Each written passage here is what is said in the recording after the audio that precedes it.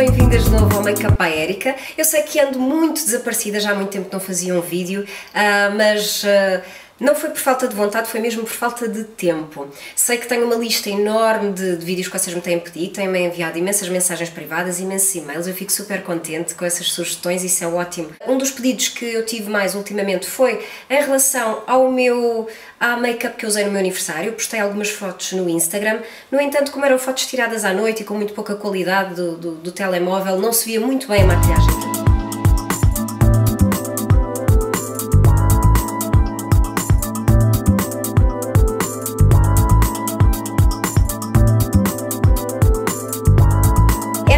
Era a maquilhagem que eu tinha, portanto eu estava com um look assim muito hippie. Este vestido que eu estou a usar, também tive algumas pessoas a perguntarem-me, a dizerem que achavam que era muito giro. Este foi um daqueles achados maravilhosos. Eu costumo dizer que eu sou a rainha do, do mini preço, eu gosto mesmo é de pechinchas e coisas baratas. Encontrei na, numa loja da Natura, custou-me 7 euros e qualquer coisa, portanto foi assim um achado espetacular. São sempre aqueles finais de saldos que vale a pena aproveitar. E neste tutorial eu vou-vos ensinar a fazer não só esta make-up, como fazer estas ondinhas largas de uma forma assim muito sucinta e muito rápida. Espero muito que vocês gostem e fiquem atentas ao tutorial. Então eu vou começar assim, com este olho já preparado, semi-preparado. Não tenho a pele preparada por uma simples razão, é porque este tipo de smokey eye normalmente tem muita tendência a ir caindo aqui eh, bastantes partículas, até pode-se ver como eu tenho aqui algumas, vai caindo as sombras, etc. Tá, tem muito mais tendência a esborratar. E então o que eu recomendo sempre é uh, preparar a pele no fim, portanto, fazer o nosso olho, uh, fazer as borradas que nós precisarmos, apagarmos as vezes que necessitarmos, fazermos tudo direitinho e no final sim pomos a base, o corretor e todas essas coisinhas para ficarmos com a pele impecável. Vou começar por aplicar um primer de sombra, neste caso vou aplicar uh, o meu Paint Pot da MAC, que é o Soft Ochre, apenas com o dedo. De seguida, com um pincel de esfumar assim maiorzinho, uh, vou esfumar todo, toda a minha pálpebra móvel e um pouquinho acima da pálpebra móvel com este castanho mate. Isto é da minha paleta Naked, da Naked 1, da Urban Decay.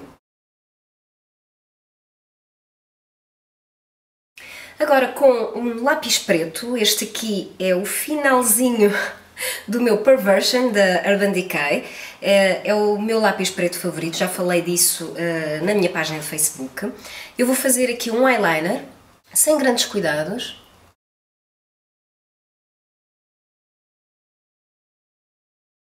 Este eyeliner, na verdade, não se vai ver, por isso é que eu digo que não é preciso grandes, grandes cuidados. A única coisa que ele vai fazer é intensificar ligeiramente aqui junto à linha das pestanas. Agora, com esta sombra preta da Naked 2, desta paleta da Naked 2 da Urban Decay, que se chama Blackout, eu vou passar em toda a minha pálpebra móvel com um pincel assim de cerdas sintéticas e vou borrifar aqui um pouquinho do meu MAC Fix Plus, que é apenas um fixador de maquilhagem, vocês podem usar o que quiserem ou até umedecer ligeiramente com água o pincel, pouquinho, muito pouco, mas é o suficiente já para agarrar um pouquinho mais o produto. E vou dar uns toques aqui na minha pálpebra móvel, portanto eu não vou passar assim, vou apenas pressionar na minha pálpebra móvel para depositar o produto. Agora, com a minha paleta da Sleek, que é esta aqui, esta paleta chama-se Eye Divine, Snapshots 732. Eu vou usar esta sombra aqui, que é uma espécie de uma cor de vinho com algum brilho, e vou esfumar para fazer aqui a transição do preto para a minha pálpebra fixa.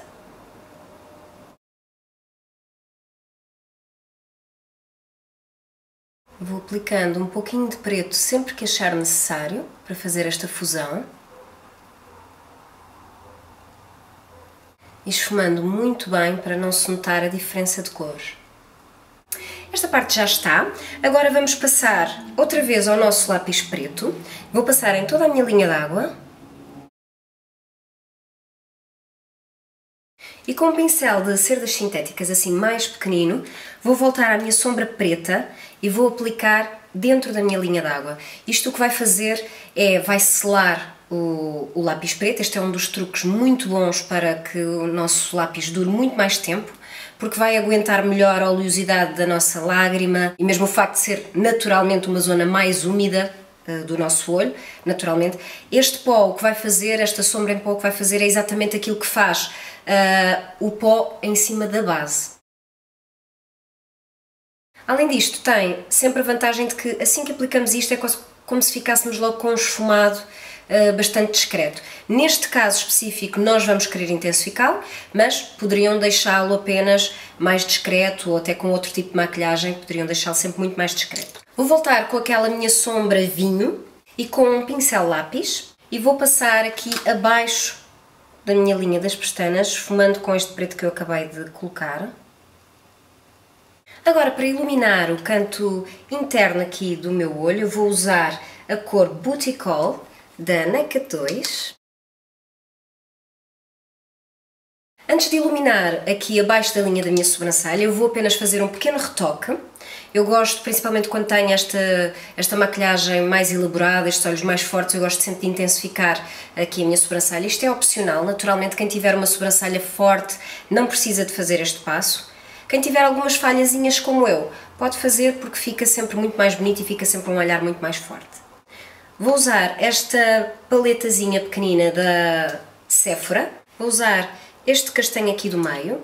No meu dia a dia costumo usar aquele mais clarinho, mas neste caso quero intensificar. Começo sempre aqui pela parte de fora, a parte mais fina, que é aquela que eu quero que seja, esteja mais intensa. Depois passo aqui para o arco.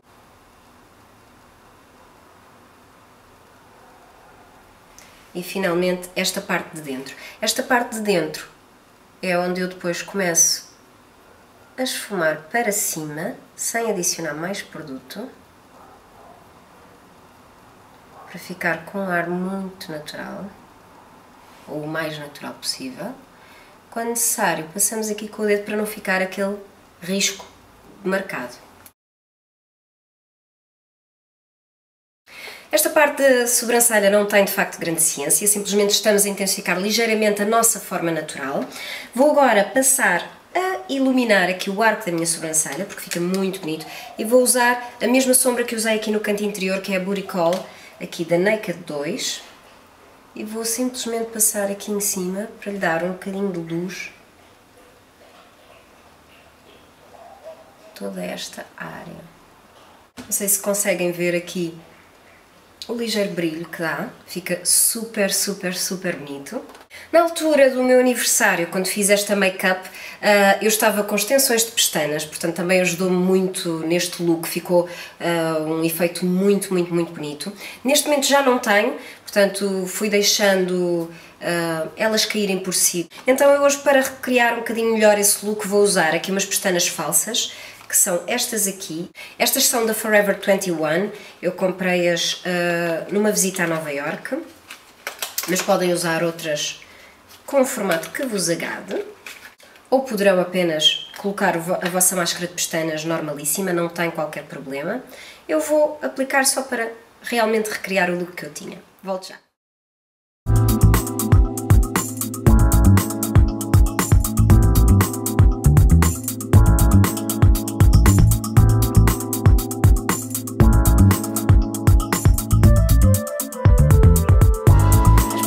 Já estão. Uh, o que eu gosto de fazer a seguir a colocar as pestanas é sempre passar com um pouquinho ou de eyeliner ou de sombra preta, neste caso vou usar sombra preta porque não quero o traço do eyeliner, aqui por cima, só para disfarçar aqui a cola, que ela entretanto depois seca e desaparece.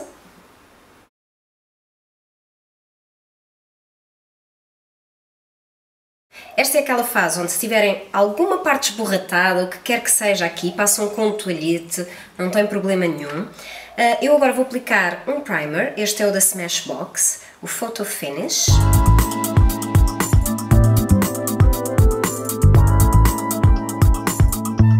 Eu vou usar a minha base da Makeup Forever HD.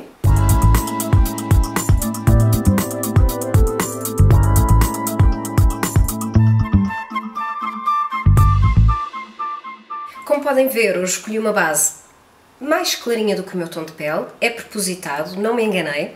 Simplesmente isto vai fazer com que eu depois, quando fizer aqui os contornos com os bronzers, etc., tenha aqui muito mais contraste uh, entre as zonas mais claras, mais iluminadas e as zonas mais contornadas, fica muito bonito. Mas podem usar o vosso tom perfeitamente usual de dia a dia. Para matificar um pouco esta base e para fixar também, eu vou usar o meu pó translúcido da Too Faced, que é este aqui. Como corretor de olheiras, eu hoje vou usar o Full Cover da Makeup Forever. Este é na cor número 7 e vou aplicá-lo com uma esponjinha úmida. Isto é uma Beauty Blender. Vou aplicando apenas com ligeiros toques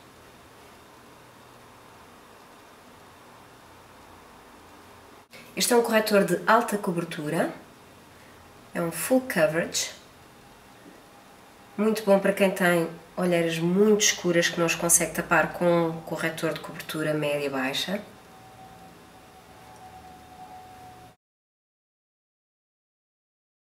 Mais um bocadinho de pó translúcido, só para ajudar a fixar. E agora aqui com um bronzer, uh, assim uns dois tons acima do meu tom de pele. Vou começar a aquecer aqui os lados do meu rosto.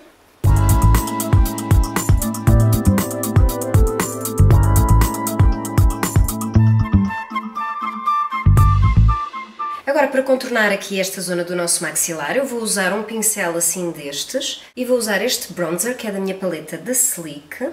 Esta é a Medium.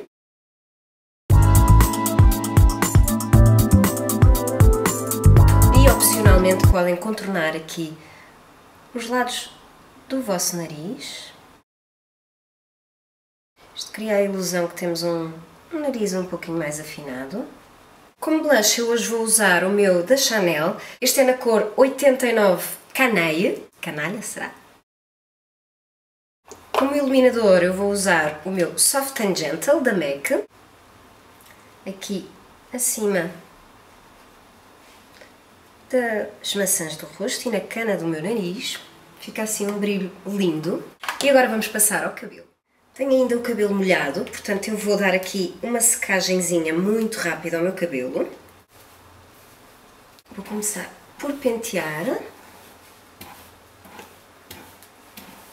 Antes de começar a secar, eu gosto de usar sempre um protetor térmico. Este é da Schwarzkopf, que é o Gliss Hair Repair que é este aqui. Dou assim umas borrifadelas. E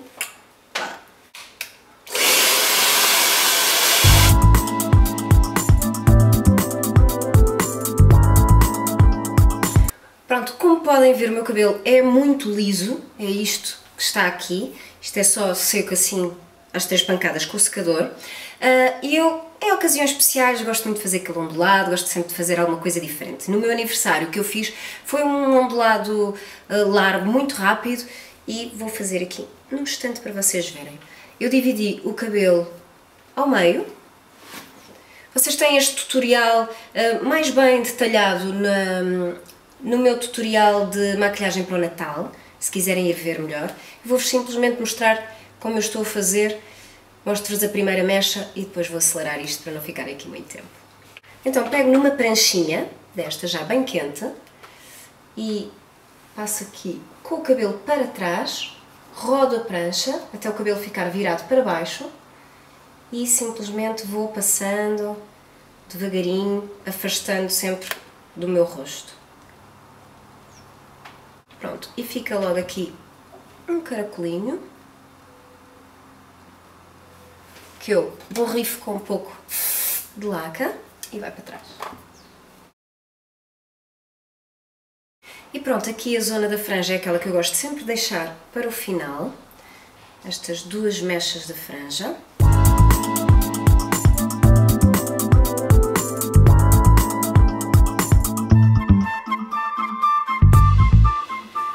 Isso acho que eu também faço mais rápido.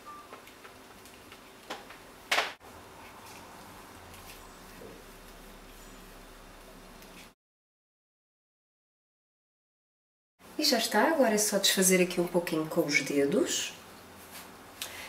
E vou agarrar na minha fitinha, que é aquela que vocês viram nas fotografias, colocá-la aqui. Adicionei aqui uns brincos assim large, large size, para dar aqui um ar ainda mais hippie uh, a este look. E agora, last but not least, vem o batom. Uh, como vocês viram nas fotografias, isto foi um look muito forte, uh, com o olho bastante carregado e com um batom vermelhão, que de vez em quando também sabe muito bem, fica muito giro. Começo primeiro por passar com o lápis vermelho em, todo, em toda a volta do, do lábio.